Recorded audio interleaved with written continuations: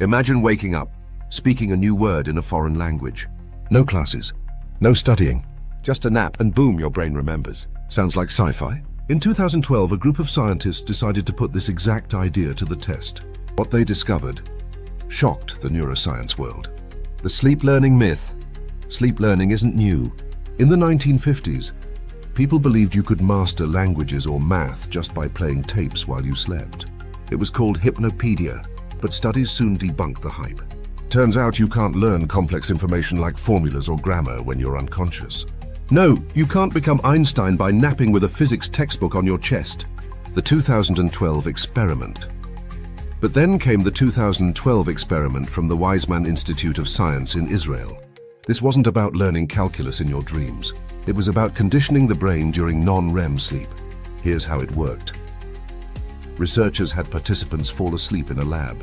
While they slept, the team paired specific tones with smells, some pleasant, like shampoo, others unpleasant, like rotten fish. Each time a tone played, a smell followed. But the twist? The participants had no idea it was happening. In the morning, scientists played only the tones, without the smells, and the participants' noses still reacted.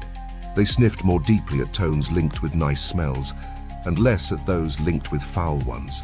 Their brains had formed associations, while completely unconscious. What this really means? This experiment proved something powerful. Your brain can learn simple associations, even in deep sleep. No, you won't learn algebra, but your brain can build implicit memories, like sound-smell pairings, or reinforce something it started learning while awake. Later studies expanded on this. One used foreign language vocab, playing pairs of words while participants slept. When tested, those who heard the words in slow-wave sleep remembered them better than those who didn't. Using this in real life, so how can you hack this in your own life? Study something before sleep, especially vocab, music, or motor skills. Use audio cues gently as you drift into deep sleep, white noise plus subtle repetition. Keep your environment calm. Sleep quality is key. Your brain can't learn if it's stressed.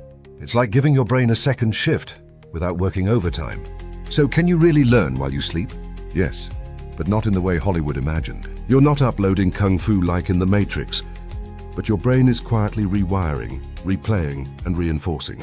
All while you rest, your mind never sleeps. And now, science is finally catching up.